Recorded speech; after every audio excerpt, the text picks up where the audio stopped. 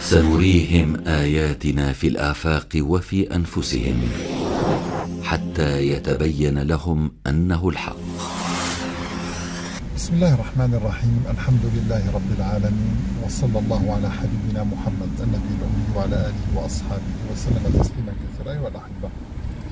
لماذا خلق الله الموت؟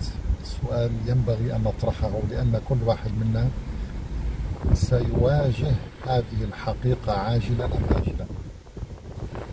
حتى إن كثير من الفلاسفة قالوا الحقيقة المطلقة الوحيدة التي لا يستطيع أن ينكرها أحد وسيواجهها كل أحد هي الموت. فإذا ما فكرت أن هذا آخر يوم سيكون لك وكررت هذا التفكير كل يوم يعني مثلا اليوم ستفكر أن هذا آخر يوم في حياتك. غدا ستفكر أن غدا آخر يوم وهكذا كل يوم يمر عليك. إذا فكرت أنه سيكون آخر يوم في حياتك لابد أن يأتي ذلك اليوم الذي يكون توقعك فيه صادقا. بالفعل سيكون هناك يوم ينهي هذه الحياة وهذا مصير كل الناس كل الكائنات كل الكون كل من عليها فان ويبقى وجه ربك ذو الجلال والإكرام. الحقيقة هذا السؤال أيها الأحبة مهم جدا لنتذوق معنى الحياة. لأنك إذا لاحظت اليوم تجد الناس يلهثون وراء الدنيا. يلهث وراء البناء يبني ويجمع ويبني ويجمع ثم يموت ثم يأتي بعده شخص آخر من أولاده يبني ويجمع يبني ثم يموت وهكذا. طيب. وبعدين بعد ذلك ما الذي يحدث؟ إذا لابد أن نفكر لماذا خلق الله الموت. القرآن يجيب عن هذا السؤال. قال تبارك وتعالى في سورة الملك تبارك الذي بيده الملك وهو على كل شيء قدير. الذي خلق الموت والحياة ليبلوكم أيكم أحسن عملا وهو العزيز الغفور. الذي خلق الموت والحياة ليبلوكم أيكم أحسن عملا. آه هنا الشاهد. الذي خلق الموت أولا ثم الحياة. إذا كأن الموت هو أهم من الحياة وهو أساس الحياة ولولا الموت لم تنشأ الحياة. كنتم أمواتا فأحياكم ثم يميتكم ثم يحييكم. إذا الإنسان كان أساسا في حالة موت حالة لا شيء حالة سكون فأحياه الله. وكذلك الأرض تجد الأرض هامدة جامدة خاشعة. لا توجد فيها أي أي مظاهر للحياة. عندما ينزل الماء تبدأ هذه الحبيبات موجودة في التراب. ما يسمى بغبار الطلع وما يسمى بحبوب لبعض النباتات. تبدأ تنمو وتبدأ تعطينا الثمار واللون الأخضر والأشجار. فإذا أنزلنا عليها الماء اهتزت وربت وأنبتت من كل زوج بهيج. كذلك يحيي الله الموتى. كذلك نخرج الموتى وكذلك تخرجون آيات كثيرة. فإذا الأصل هو الموت. هكذا يجب أنا كإنسان مؤمن يجب أن أفكر بهذه الطريقة. الأصل هو الموت والحياة هي حالة طارئة أعيشها الآن. مثال آخر أيها الأحبة. أنت ستعيش ستين أو سبعين سنة. لديك يوم ستذهب فيه في سفر وتعود في المساء. هذا اليوم هو الحالة المؤقتة. هذا اليوم الذي ستسافر وترجع فيه خلال ساعتين أو ثلاث ساعات. هذا اليوم هو حالة مؤقتة أنت لا تكترث به ولا تعمل من أجله ولا تفكر به كثيرا. لماذا؟ لأنه عبارة عن رحلة قضاء حاجة تذهب ثم تعود. ولكن حياتك الأساسية أين في الدنيا؟ هي الستين سبعين سنة. طيب الستين سبعين سنة مئة سنة التي ستعيشها هي لحظة من لحظات يوم القيامة. لذلك قال تعالى وما الحياة الدنيا في الآخرة إلا متاع. متاع يعني الدنيا فيها متاع أمتعة كثيرة. جهاز الموبايل هو متاع تستمتع به. ما قيمة هذا الجهاز بالنسبة للدنيا؟ لا شيء. هناك أشياء كثيرة أمتعة كثيرة تحتاجها. اللباس هذا متاع. الطعام متاع. الشراب متاع. كله متاع. فإذا وما الحياة الدنيا في الآخرة إلا متاع. إذا يجب أن تعدل نظرتك للدنيا وتنظر إلى هذه الدنيا على أنها مرحلة مؤقتة وستذهب بعدها إلى الحياة الحقيقية. لذلك قال تعالى وما الحياة الدنيا إلا لعب ولهو وإن الدار الآخرة لهي الحيوان. لو كانوا يعلمون. لهي الحيوان لو كانوا يعلمون. سبحان الله هذا الأمر أحبتي في الله معظمنا يغفل عنه. معظمنا أحبتي في الله يغفل عن مثل هذا الأمر للأسف مع أنه حقيقة واقعة ينتظر كل واحد منا. إذا يجب أن أعتقد أن الموت خلق لهدف أهم من الحياة. ليبلوكم أيكم أحسن عملا. تصور أخي الحبيب لو أن الدنيا ليس فيها موت. تصور لو أن الظالمين لا يموتون. ماذا ستفعل؟ تصور لو أن الجبابرة والمتكبرين لا يموتون يأكلون الضعفاء ستصبح الحياة تعيسة جدا. تصور لو أن هذه الأشجار لا تموت ولا تأتي أشجار بعدها وليس هناك نباتات تنمو باستمرار حركة الموت والحياة هذه في في الكون. مهمة جدا لاستمرار الكون. لذلك الذي خلق الموت والحياة ليبلوكم أيكم أحسن عملا أي أن هذا الإله العظيم خلق الموت أولا خلقك أيها الإنسان ميتا ثم أحياك الهدف من حياتك هي الاختبار. إذا أنا الآن في حالة اختبار. إذا مرضت هذا اختبار من الله لي. إذا آذاني شخص هذا اختبار من الله لي ليرى هل أصبر؟ كيف أتعامل مع الناس؟ هل أصبر على الصلاة؟ بالنسبة للمرأة هل تصبر على الحجاب؟ هل تصبر على آه، أن تطيع زوجها أن تطيع أبويها أن تربي أولادها تربية حسنة؟ هذا هو البلاء أيها الأحبة.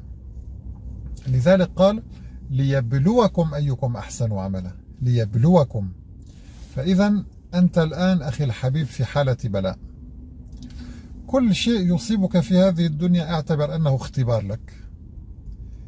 إذا جاءك رزق من الله فتحت عليك أبواب الرزق يجب أن تعتقد أن هذا الرزق هو ابتلاء من الله. هل تنفقه في سبيل الخير أم في سبيل الشر؟ إذا رزقك الله ولدا تقر عينك به هل تنشئه على الإيمان والتقوى ومخافة الله عز وجل وتنشئه على حب الخير أم تنشئه على الطمع والجشع وحب المال وحب الدنيا؟ وإيذاء الآخرين؟ طيب. أنت الآن موظف في مكانك. جاءك إنسان يريد قضاء حاجة. وأنت لن تستفيد منه شيئا ولكن تستطيع أن تقضي حاجته. هذا ابتلاء من الله.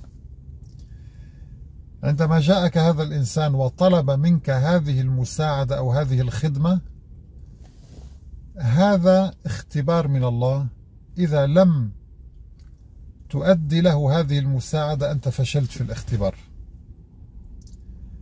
لأن مساعدة الناس مفروضة علينا أيها الأحبة. بنص الحديث النبوي عليه الصلاة والسلام. لا يؤمن أحدكم حتى يحب لأخيه ما يحب لنفسه. وكلمة أخ هنا يمكن أن نعمم معناها من أخوة الإيمان إلى أخوة الوطن إلى أخوة إلى أخوة الإنسانية.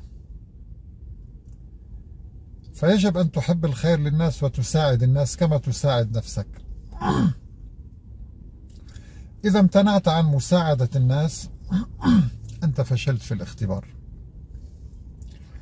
طيب إذا يا هل ترى إذا رزقك الله دارا وزوجة ومال هل تحافظ على قيام الليل؟ أم تنسى قيام الليل لأنك انشغلت بالدنيا انشغلت بالمال؟ هل تحافظ على أداء الصلوات كما كنت تحافظ عليها في حالة الفقر أو حالة الضيق؟ هذا هو البلاء. إذا الهدف الرئيسي من الموت هو البلاء. الهدف الثاني أيها الأحبة الرحمة للمؤمن. لأن المؤمن عندما يكبر الموت مقدر. نحن قدرنا بينكم الموت. الموت له أسباب مقدرة أيها الأحبة. فهناك إنسان تنتهي حياته بحادث بغرق بحرق بمرض بنوبة قلبية إلى آخره. يعني الأسباب كثيرة كلها مقدرة من الله عز وجل. ولكن يا هل ترى آه، هل هذا الإنسان الذي انتهت حياته. هل هذا الموت رحمة له أم شر له؟ هو مستريح أو مستراح منه؟ الكبر أيها الأحبة ومن نعمره ننكسه في الخلق.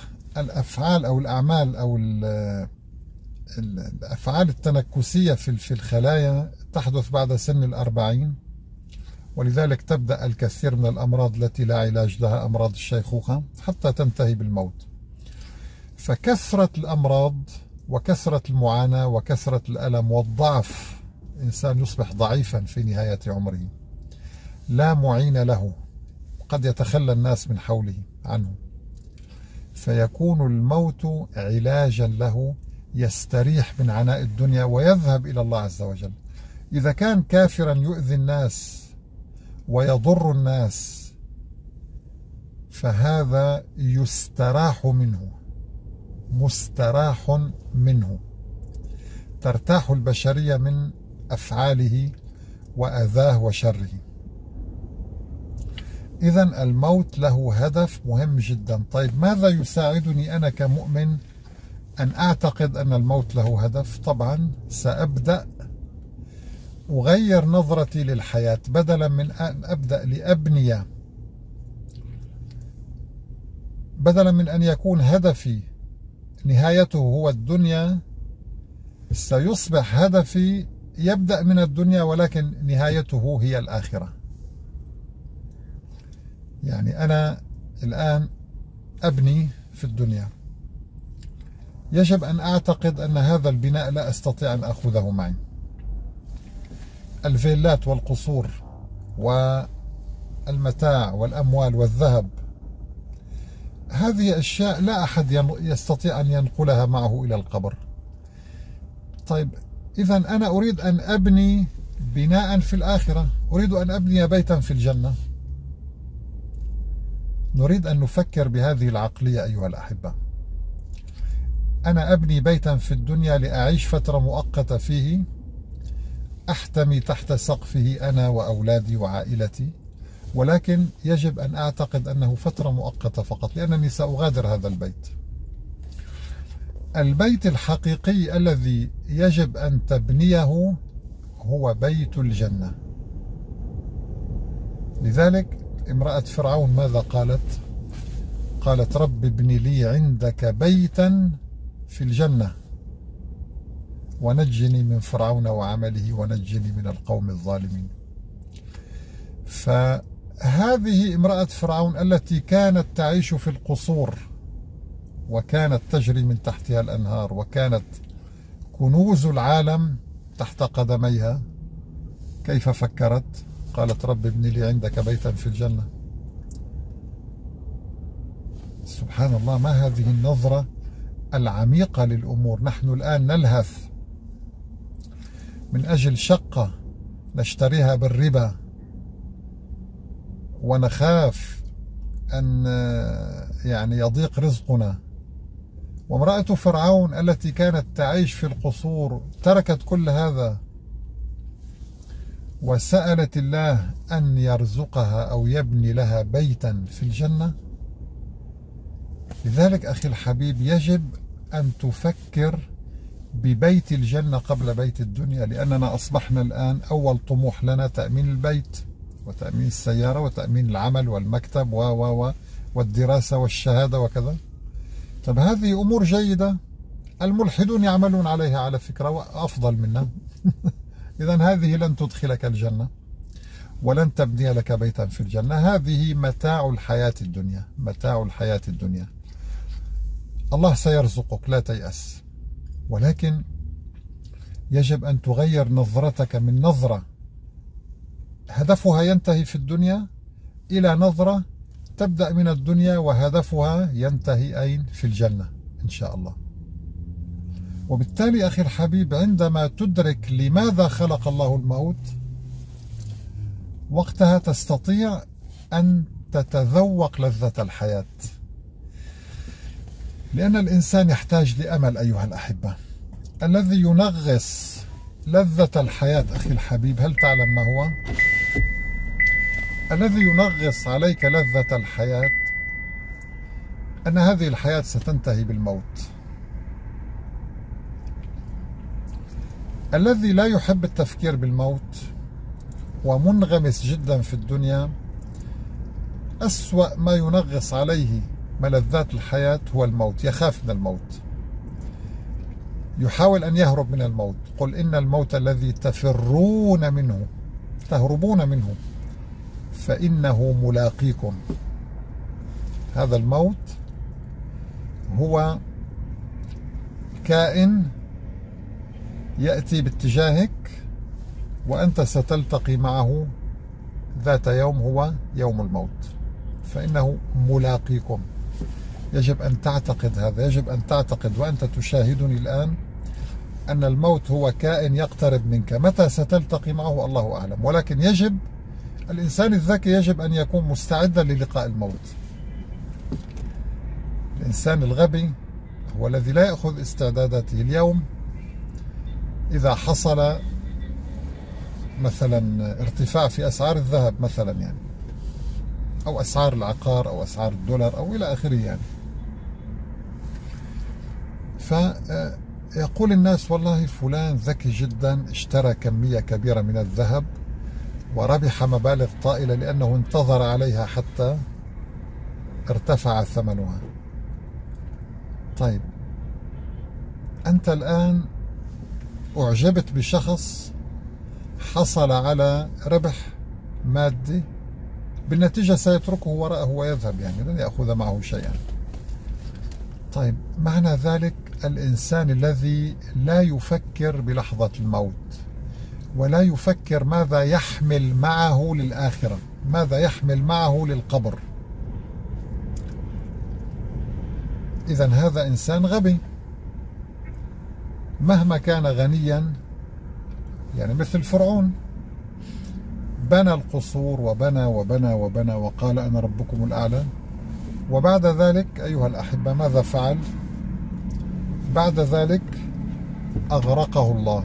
أخذه الله أخذ عزيز مقتدر. فهذا الفرعون أيها الأحبة ماذا استفاد من هذه الدنيا؟ لا شيء. قبل أن, أن, أن, أن يأخذه الله بلحظات وهو يغرق قال آمنت بالذي آمنت به بنو إسرائيل.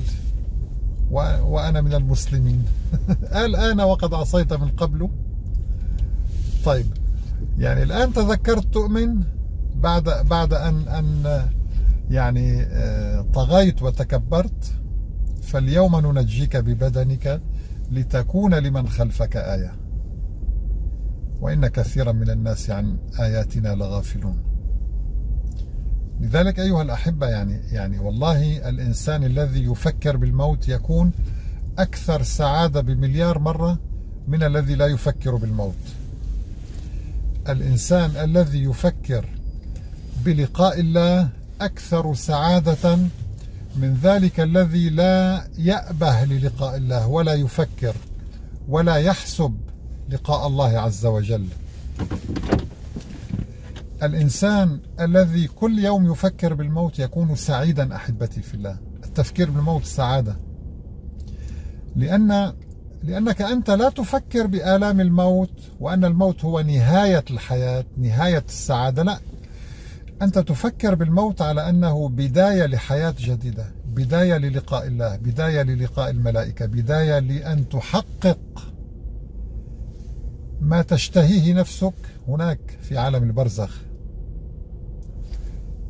هو بداية لنهاية المآسي والأحزان. أنت ستقضي بعد ذلك على الخوف والجوع والمرض والفقر والظلم والذل. هذا هو الموت أيها الأحبة. الموت ليس هو يعني حالة النهاية هو مرحلة انتقالية. يجب أن نفكر هكذا.